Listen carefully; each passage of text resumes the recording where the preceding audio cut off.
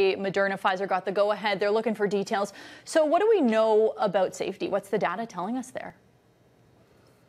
Well, there are no new safety signals, first of all, meaning that the side effects that were observed were exactly what were expected. The overwhelming majority were mild. So pain at the site of injection, a fever, maybe some uh, some discomfort, but nothing life-threatening. Everyone's afraid of the myocarditis and pericarditis that's been observed globally in the um, older population, but none of that was observed for the tested uh, young kids.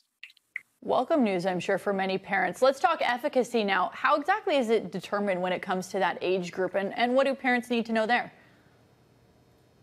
Yeah, it's a strange math that's done to compute vaccine efficacy. In general, you're comparing the number of COVID cases in the control group versus the number of COVID cases in the group that got the vaccination.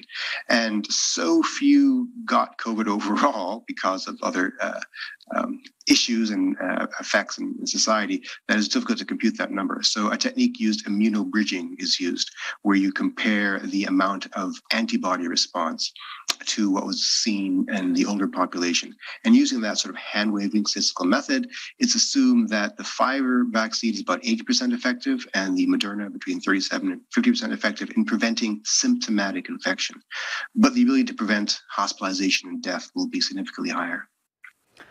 You know what, we did hear from a lot of parents who were quite concerned. You know, maybe they had older kids who were able to get the shot, but they still had young kids who might be attending, you know, daycare or even just heading out with their parents. And they were, some of them, anxious to get the shot. Based on the vaccination process with adults and older kids in this country, do we have any idea how soon we could see the go ahead in Canada?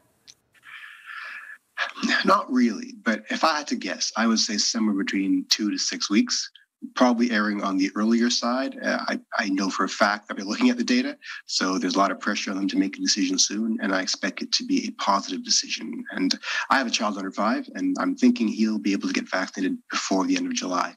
I hope. Fingers crossed there. We still have about a minute left here. Before we let you go, you know, just on cases we've seen so far in that age group here in Canada, do you think it's important that children get the shot? What are your thoughts there? I do. Now, the risk of a, a, small child getting a serious case of COVID is smaller than in the older population, but not zero. We don't want kids ending up in the hospital. The risk of dying is real.